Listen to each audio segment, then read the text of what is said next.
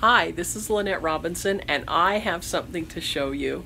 If you are not that savvy on laundry, we're going to sort laundry today.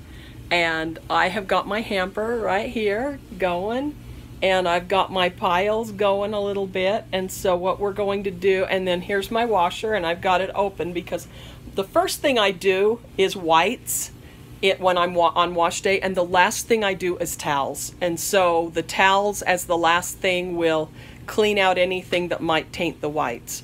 So anyway, I'm going to just start here, and I'm going to go to my hamper, and here's a towel, and I'm going to put it in with towels. Here is a, a, a kind of a dark knit, and so I'm, I put all my knits together. Here is a knit. Here is a towel. I'm going to put the towels together, and my white things underwear, white shirts, and things like that are going to go in the in the washer. And then pants, towels. They go separately. Dark uh, knits, le- pants, Levi's, any sort of pants go in the same pile. And then we're putting our whites in the laundry or in right directly Whenever we take off our socks, we mate them and they go in the hamper mated. So they always end up in the same load and they're, we don't lose them. I can't tell you the last time I lost a pair of socks. So the socks are going, they're knit. Here's another pair of socks. They're going in with the knits. The whites, whoops, lost it with my hands. The whites are going in the washer. Knits. Oh, here's some some towels, things. I mean, any towel, anything that's got a towel or a terry, um, all goes into the same thing. And I'll tell you why. Because towels will tend to um, actually kind of wear on your knit things, and um, and so you don't want your clothes to wear out. Um, again, I'm just continuing in my hamper to unload knits, pants, and then I just washed the liner, and so I'm not going to wash it today, but a lot of times I throw it in with my whites. So I'm just going to put that aside. Then I'm going to get into my laundry, and you can use whatever kind of regular laundry detergent you want. I many Tide is my favorite, but I also we belong to Sam's Club and we buy theirs too.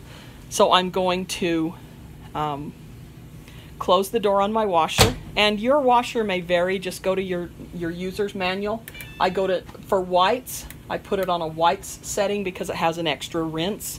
You can put it on normal if your washer doesn't have all these specialized settings just the regular um, and that. My washer does sense how big the load is and so I don't set that but this would be a medium to large load you do not want to overload your washer because it will make it to where it happens, has a hard time getting things cleaned. So I've got it on whites. I've got the soap in there um, for my for for my whites. I do an extra rinse, and I really don't do anything else. If if things are extra stinky and they're white, I'll put two cap, just two caps full, which is about a sixteenth or an eighth of a cup of bleach in in with it and I usually put it in the drawer so that it diffuses it. If you've got a top loading washer and you don't have a, a bleach dispenser, you want to make sure that your the, the, the the, the tub is filled with water before you add your bleach because it can it can be a problem. So I'm just going to start this for whites for most everything I I set it for cold cold um, cold wash cold rinse and normal um, um, agitation and a high spin.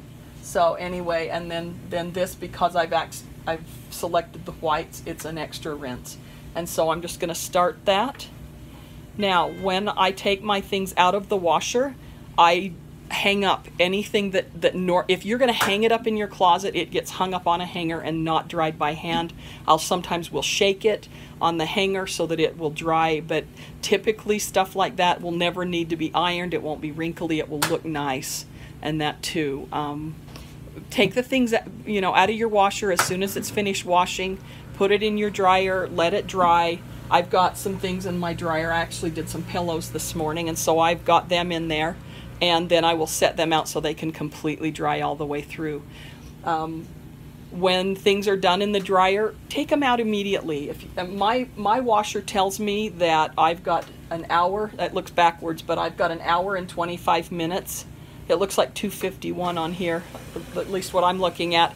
Anyway, I've got an hour and 25 minutes. I am going to set my timer for an hour and 25 minutes so that I won't forget and I will come down and I will switch out my laundry. So then I can get all of these loads done in just a few hours and I can continue doing other things. So anyway, this is our laundry laundry lesson today. Hope you enjoyed it. Thank you so much for joining me. I'm Lynette Robinson and um, you have a great day.